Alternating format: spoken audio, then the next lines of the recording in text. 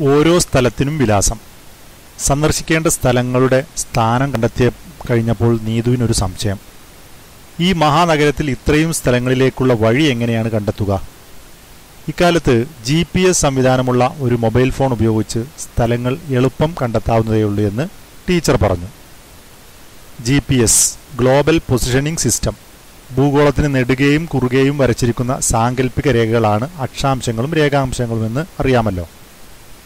ഇവയെ അടിസ്ഥാനമാക്കിയാണ് ഭൂമിയിൽ ഒരു പ്രദേശത്തിന്റെ സ്ഥാനം നിർണയിക്കുന്നത്. കൃത്യമായ കോണീയ അളവുകളുടെ അടിസ്ഥാനത്തിലാണ് ഇവ വരച്ചിരിക്കുന്നത് നിങ്ങൾ പഠിച്ചിട്ടുണ്ടല്ലോ. ബഹിരാകാശത്തേക്ക് നിക്ഷേപിച്ച് വിക്ഷേപിച്ച കൃത്രിമ ഉപഗ്രഹങ്ങളിൽ നിന്നുമുള്ള സിഗ്നലുകൾ സ്വീകരിച്ച ഒരു പ്രദേശത്തിന്റെ അക്ഷാംശം രേഖാംശം ഉയരം എന്നിവ നിർണയിക്കാൻ ജി പി എസ് സംവിധാനം വഴി നമുക്ക് സാധിക്കും. മൊബൈൽ ഫോണുകളിലെ അതുപോലെ വാഹനങ്ങളിലും മറ്റ് നിരവധി ഉപകരണങ്ങളിലും ജി പി എസ് സംവിധാനം ഇന്ന് വ്യാപകമായി ഉപയോഗിച്ചു വരുന്നു. നോക്കൂ മാർബിൾ സോഫ്റ്റ്വെയറിൽ നിറയെ വരകൾ നിങ്ങൾക്ക് കാണാനുണ്ട്. ഇതെല്ലാം ഒരു സാങ്കല്പിക രേഖകളാണ്.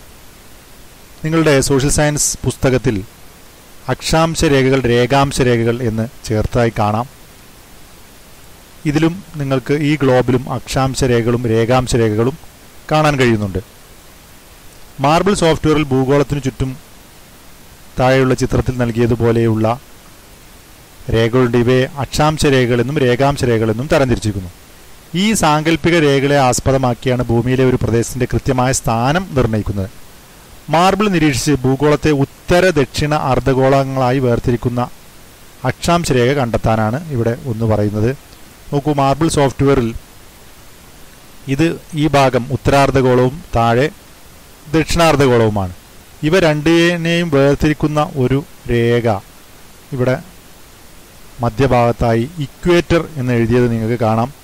ഇതാണ് ഭൂമധ്യരേഖ. അപ്പോൾ ഈ ഭൂമധ്യരേഖയാണ് ഭൂമിയെ മുകളിലും താഴെയുമായി ഉത്തരാർദ്ധഗോളവും ദക്ഷിണാർദ്ധഗോളവുമായി വേർതിരിക്കുന്നത്. അതുപോലെ തന്നെ ഭൂഗോളത്തെ കിഴക്ക് പടിഞ്ഞാറ് അർദ്ധഗോളങ്ങളായി തിരിക്കുന്ന മാനക രേഖാംശ രേഖയും നമുക്ക് കണ്ടെത്തേണ്ടതുണ്ട്. അതിനുവേണ്ടി നോക്കൂ നിങ്ങൾ ഈ സോഫ്റ്റ്വെയർ നമുക്കിത് ഇത്തരത്തിൽ തിരിക്കാം. ഇവിടെ ആ യൂറോപ്പ് ഇംഗ്ലണ്ടിന് മുകളിലാടെയാണ് നമുക്കറിയാം. ഇവിടെ പ്രൈം മെറിഡിയൻ പ്രൈം മെറിഡിയൻ എന്ന് എഴുതിയത് നിങ്ങൾക്ക് ഇവിടെ കാണാനുണ്ട്. ഈ മഞ്ഞ നിറത്തിലുള്ള ലണ്ടനിലൂടെ ഇംഗ്ലണ്ടിലൂടെ കടന്നു പോകുന്ന ഈ മാനക രേഖാംശം ഇവിടെ നിങ്ങൾക്ക് കാണാനുണ്ട്. ഈ മാനക രേഖാംശമാണ് ഭൂഗോളത്തെ കിഴക്ക് പടിഞ്ഞാറ് അർദ്ധഗോളമായി വേർതിരിക്കുന്നത്. നോക്കൂ പ്രവർത്തനം ഒന്നേ നാല്. പ്രധാന അക്ഷാംശ രേഖാംശ രേഖകൾ കണ്ടെത്തൽ. മാർബിൾ സോഫ്റ്റ്വെയർ തുറന്ന് പ്രധാനപ്പെട്ട അക്ഷാംശ രേഖകളും രേഖാംശ രേഖകളും കണ്ടെത്തി അവയുടെ പ്രത്യേകതകൾ നിരീക്ഷിക്കുക. താഴെ നൽകിയിരിക്കുന്ന പട്ടിക പൂർത്തിയാക്കാനും പറയുന്നുണ്ട്. ഇവ ഇവയിൽ ഒന്നാമത്തെ പ്രത്യേകത ഇന്ത്യയിൽ കൂടി കടന്നുപോകുന്ന പ്രധാന അക്ഷാംശ രേഖ ഏതാണെന്ന് ചോദിക്കുന്നുണ്ട്. നോക്കൂ മാർബിൾ സോഫ്റ്റ്വെയറിൽ നമുക്ക് ഇന്ത്യ നമുക്ക് അഭിമുഖമായി കൊണ്ടുവരാം. ഇവിടെ നമ്മൾ നേരത്തെ ഭൂമധ്യരേഖ ഇവിടെ കാണുന്നുണ്ട്. ഇന്ത്യയ്ക്ക് താഴെയായി തെക്ക് ഭാഗത്ത് ഭൂമധ്യരേഖ കാണാം. ഇവിടെ ഒരു അക്ഷാംശരേഖകളിൽ ടോപ്പിക് ഓഫ് ക്യാൻസർ എന്നെഴുതിയത് നിങ്ങൾക്ക് കാണാ കാണുന്നുണ്ടാവും. മഞ്ഞ നിറത്തിൽ